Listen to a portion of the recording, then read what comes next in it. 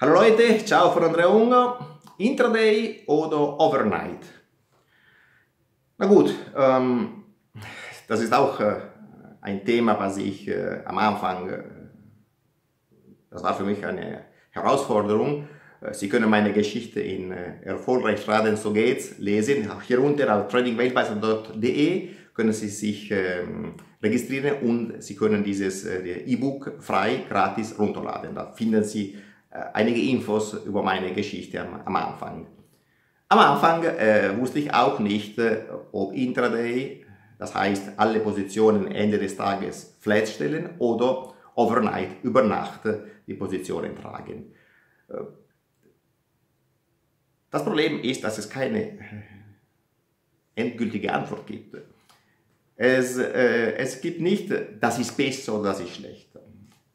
Sehr äh, gute Händler, wie zum Beispiel Larry Williams, sagen, dass äh, die, das Geld macht man in Overnight, über Nacht. Intraday ist, ist scheiße. ähm, okay, äh, richtig oder falsch? Es geht auch um Ansatz. Manche Trader nutzen die, dieselbe Methode, Entwicklungsmethode für Intraday wie auch für längere äh, Termine, das heißt für 5, 6 Tage oder Monate oder so. Und in dem Fall hat man Schwierigkeiten. Ich habe einige Strategien von Larry Williams, Intraday-Strategien gesehen, wie sie äh, formuliert wurden. Und ich muss sagen, das habe ich gesehen, Indikatoren und einige spezielle Setups in einigen Momenten des Tages. Aber generell war dieser Ansatz sehr ähnlich zu anderen ähm, Methoden, die er für langfristige Trades benutzt hatte. Und das war falsch. Das heißt, die Ergebnisse für jede Strategie waren nicht so, so gut, wie er wünschen konnte. Und in dem Fall war er natürlich nicht zufrieden mit den Intraday-Strategien. Und er war natürlich, er hat sehr viel gutes Geld verdient in der, an der Börse mit, mit Overnight. Aber das bedeutet nicht, dass Intraday schlecht ist. Das bedeutet nur, dass man auch für Intraday die richtigen Ansätze heraussuchen muss und entwickeln. Man kann nicht äh, generell auf äh, eine Intraday-Chart genauso arbeiten wie auf eine Wochenchart. Das geht leider nicht. Diese äh, Fractal Marx und so weiter Theorie funktioniert nicht so gut, wie, wie erzählt wurde. Was soll man aber tun? Also, es geht erstmal Psychologie. Psychologie, und wir haben im, auf dem Kanal auch schon über Psychologie gesprochen. Abonnieren Sie beim Kanal hier bitte und klicken Sie auf das rote Glöckchen, dann bekommen Sie sofort eine, eine Meldung, wenn äh, ein neues Video äh, zur Verfügung steht. Und generell suchen Sie mal äh, in den ganzen Videos, die wir haben, habe ich über Psychologie schon, schon gesprochen. Psychologie. Psychologie bedeutet, ich habe Angst, ich kann nicht schlafen gehen mit offenen Positionen. Das ist ein Problem. Man muss auch gemütlich, gemütlich genug arbeiten. Und wenn man abends mit Bauchschmerzen ins Bett geht, dann hat man Probleme zu schlafen und auch zu anderen Sachen zu tun. Aber hm, es klappt nicht, das, das kann man nicht bestehen. Also in dem Fall ist man ein bisschen gezwungen, Intraday-Ansätze zu, zu nutzen. Und das ist in Ordnung. Man kann langsam daran arbeiten und äh, zukünftig vielleicht eine Lösung finden, damit man psychologisch stärker wird in dieser Richtung. Aber das muss nicht unbedingt notwendig sein. Wenn Sie aber Intraday arbeiten wollen, weil sie glauben, dass dieses äh, Pim-Pum-Pam-Trading schnelle Gewinne bringt und Intraday als äh, äh, Flipper-Trading ist, dann muss ich leider sagen, dass es ein falscher Ansatz ist. Das Mindset ist falsch, weil man für schnelle Gewinne sucht und normalerweise, wer für diese schnelle Gewinne sucht, hat dann das Risiko, dass er offene Positionen im Verlust haltet, weil oder das Kontrolle über die, die Position verloren hat. Und das ist natürlich dann, äh, was normalerweise die, die Traders äh, zu Pleite bringt oder, oder in dieser Richtung. Also, wenn es für schnelle Gewinne ist, also Intraday, kurzfristig schnelle Gewinne, dann ist das Mindset, die Idee vom ganzen Ansatz aus meiner Sicht falsch. Und das ist ein Fehler. Wenn es aber nur an der, der Angst von overnight geht, weil sie nicht schlafen können mit offenen Positionen, dann okay, suchen Sie in der Richtung Intraday. Das ist total in Ordnung, aber suchen Sie in dem Fall objektiv die richtigen Märkte. Was bedeutet die richtigen Märkte? Sie brauchen Märkte, die sich genug bewegen am Tag. Und genug bedeutet Märkte, die eine äh, gute Dollarspanne zeigen am Tag. Einer von den wichtigsten Märkten in der Welt ist Mini S&P 500 Future. Und dieser Markt ist leider nicht gut genug für Intraday Trading. Er bewegt sich nicht genug. Genug bedeutet, dass man, als man im Schnitt etwas verdient, einmal kann man sehr gut verdienen, aber normalerweise, Tag nach Tag, hat man auch Verluste, das ist normal. Und im Schnitt verdient man nicht genug Geld, alle Kosten, die zum Trading gehören, zu decken. Kommissionen, also Gebühren, Slippage, alle diese Sachen, die leider immer stattfinden und die man natürlich mit den Gewinnen decken muss. Und das klappt mit Märkten, die sich nicht genug bewegen, nicht.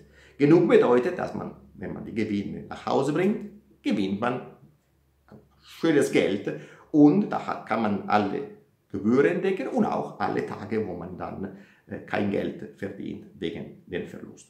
Min SMP ist nicht gut genug. Man hat wohl, ich habe auch Interessenstrategien, aber auf dem Markt zu entwickeln, zu suchen, ist hart. Es ist keine gute Wahl, weil man dort wirklich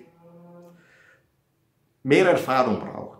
Für Anfänger sind andere Märkte für Intraday absolut besser als Min S&P 500, obwohl dieser Markt groß, sicher und, und wichtig ist. Also den Markt kann man nicht bewegen, bis auf Donald Trump mit seinen Tweets. Das ist eine ganz andere Geschichte. Aber okay, äh, welche Märkte sind also gut genug? Äh, auf den Futures kann man sagen äh, Rohöl, Crude Oil Future, Gold Future und auch Benzin, Gasolin. Das sind alle gute Märkte. Und auch ähm, DAX Future, Index Future. DAX Future ist gut, bewegt sich genug. Aber für diese Märkte hat man dann ein anderes Problem, da wir für längere und breitere Bewegungen nachsuchen. Pass auf, mit S&P könnten Sie sagen, ja, aber da können wir, kann man Countertrend arbeiten. Du hast ja gesagt, der ist gut für Countertrend. Ping, pum, pam, ping, pong. Und da fällt man aber wieder zurück zu der Kategorie, die schnelle Gewinne sucht. Auch mit S&P, meine Intraday-Strategien sind Pim Pum Pam, aber die gehören zu meinem ganzen Portfolio. Das ist eine andere Geschichte. Ich suche nicht schnelle Gewinne, nur weil ich schnelle Gewinne will. Ich habe diese Strategien addiert, weil ich auch diese Strategien nutze, aber nicht nur. Also, mit S&P, nochmal, das kann Sie zum falschen Mindset bringen. Besser Intraday-Trends suchen. Und diese Märkte, die ich genannt habe, DAX, Crude äh, Gold, ähm, Rohöl, äh, sorry, äh, Benzin, Gasolin, diese bewegen sich genug gut, wenn sie sich bewegen.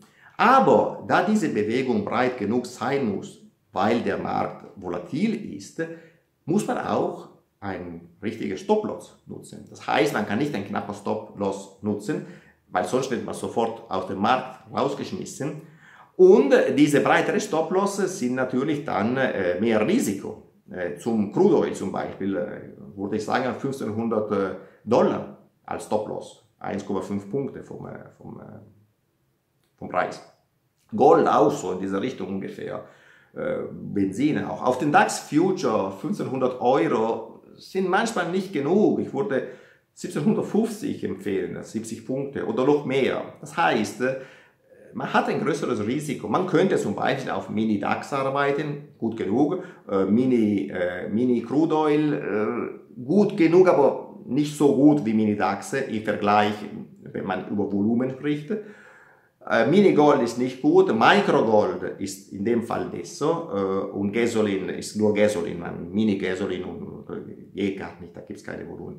Aber wie gesagt, generell muss man bereit sein, auch ein höheres Risiko zu tragen, weil leider muss man auch die, die Positionen, die man öffnet, atmen lassen, dass sie nicht sofort geschlossen werden bei der ersten äh, Bewegung, die im Markt äh, stattfindet.